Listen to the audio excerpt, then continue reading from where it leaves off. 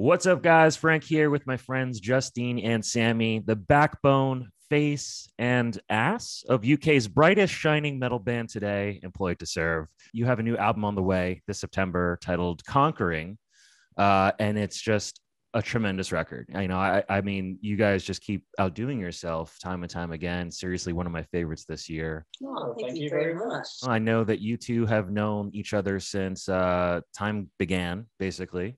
Pretty much. and yeah. uh yeah but w- today we're going to test just how well you guys know each other How much uh, we listen to each other. oh that's that's probably a more accurate yeah. who is the crankiest one out of the two of you Sammy. Yeah. Definitely me. yeah I feel like we're pretty even keel, but I think you just Yeah. about. I don't think any of us have like any full on tantrums or anything like that, but like, I don't know, like if my records or something are put back, like I've got like ever so slight like OCD, like not full on, but like I have a weird order that no one knows apart from me for like my records and CDs and stuff. So if something's not like put back like where I put it after I bought it, I know straight away, and it definitely makes me pretty cranky. uh okay uh you both share vocal duties in the band but who is the better singer Sammy.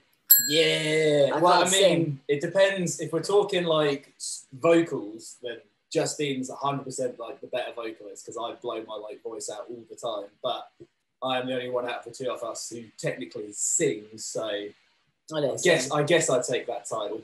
What is justine's favorite thing to snack on Oh God, the question is what I don't like to snack on. Crisps. Crisps. Yeah. Yeah. Hell Share yeah. bag sizes of Doritos. I mean, I'll be heat honest, we kind of share the love for like any form of potato snack, but I guess the one we eat the most is crisps. Yeah. sure. And obviously, this is potato chips for you, right? I Yeah. guess. as uh, i remember as a kid we did these things like uh uh potato chip sandwiches with wonder bread Oh, Oh, chips. yeah. man, Yeah. so Um, well, it's the texture, right? And sometimes it's like it's the perfect balance of soft and crunch. oh, with the crunch, yeah. Yeah, and like with this fourth record, I feel like fourth album tends to be the heroin album for most bands, but for us, it's the crisp album, Yeah. potato chip album.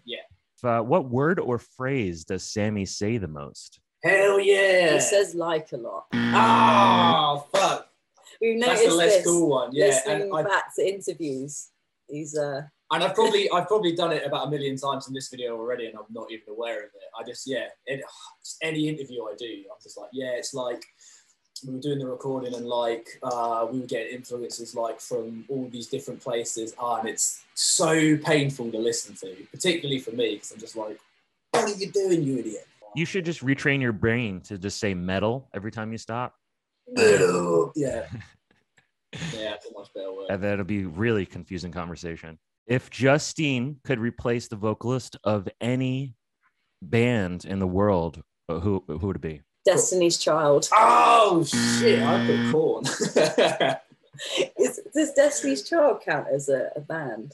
yeah, i guess Yeah. yeah, I threw you off to be fair. I mean, metal would be Korn because it's sick, but Yeah. uh, yeah. I mean that is a solid choice. I mean, Destiny's Child have got like hit after hit, and they still stand up today. yeah i mean who the hell's Korn what have they done right you know Exactly. They didn't write Survivor, They did not. Mm-mm. Or Bills, Bills, Bills. mate. So many timeless classics. Or jumping. There's a Um, certain amount of beers where Justine completely hijacks the aux cable, and all you're going to hear for the rest of the car journey is Destiny's Child, uh, Justin Timberlake, TLC. TLC. And that's probably, I'd say, around about the three or four. sometimes two if I haven't eaten. Yeah.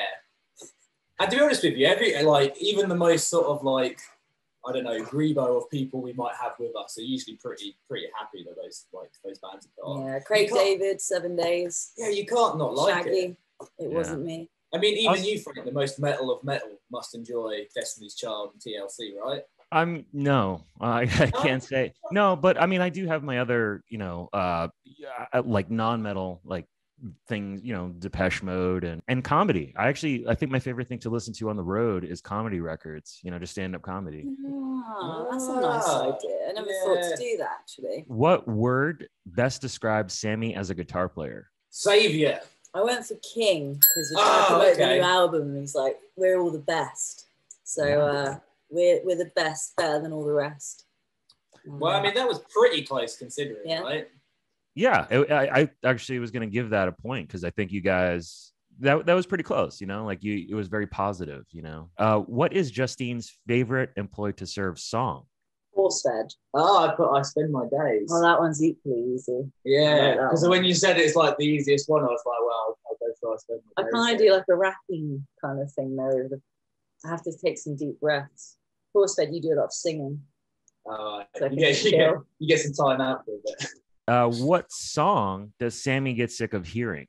Enter Sandman. Enter Sandman. But I also put Smells Like Teen Spirit as well. Yeah, no, that's my one too. Yeah. Great song. but- Both great songs, and I love Nirvana and I love Metallica, and I particularly love the Black Album as well. But I mean, you'll probably agree, both songs have been played enough times. Like whenever I put on the Black Album, I skip track one. Like I just, I don't, I don't need to hear it anymore.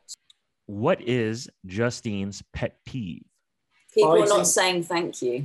Oh, I was going to put biting the fork. Oh, that's oh god. yeah, that oh, also, that also does. That's, that's suck. my Tuco. But that's definitely the thing, That like- that I, I, I will do. That will Fork annoy biters. Justine. Not that I do it a lot, but every now and again, just by accident, maybe.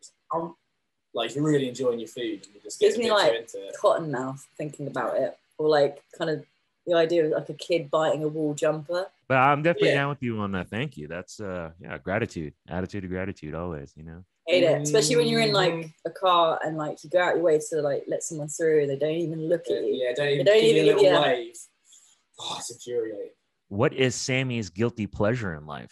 A nice cup of herbal tea, if you can see that or read that. That's not a guilty. He eating bread straight out of the bag, Ah, like putting nothing yes. on it. Like he'll just hoof slices in his mouth. Once again, going back to the uh, the snacking segment of this interview.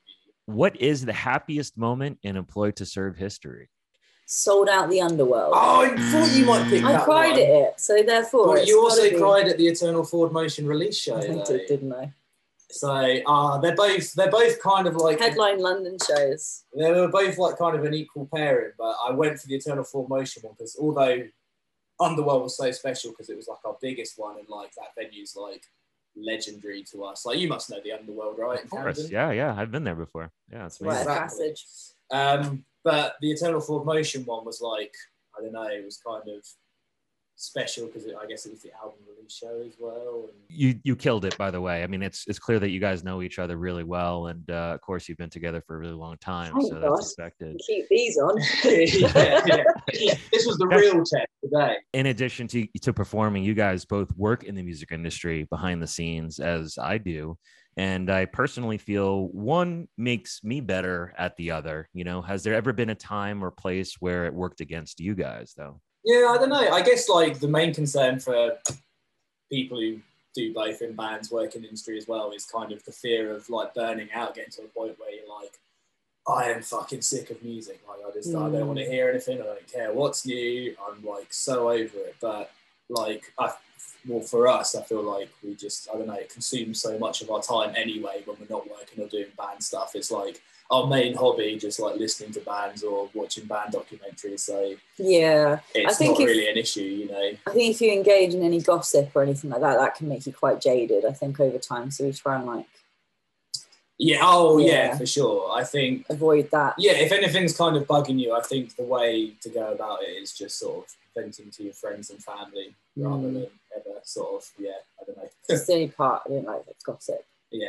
I like to stay in my own lane. I mean, is this going to be the year, or rather, maybe next year, is it going to be the year that you uh, you cross over to the U.S.? Hopefully, so, like yeah. we were so close last summer. Like we had the visa process, we got accepted for the visas, and then COVID happened. But um, I'm hoping It's so. like the it's universe does not want it to happen for you. I know. Yeah. Like I don't think people over there could handle our music. You know, there's like, oh, it's just so good.